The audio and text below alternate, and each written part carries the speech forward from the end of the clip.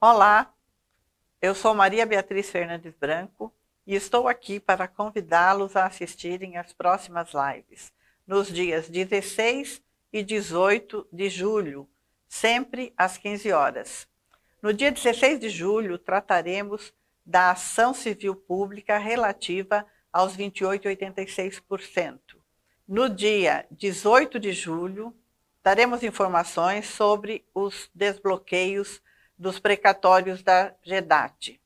Sempre as lives serão exclusivas desses assuntos. Esperamos todos vocês e nos assistam para maiores informações na TV Anfip.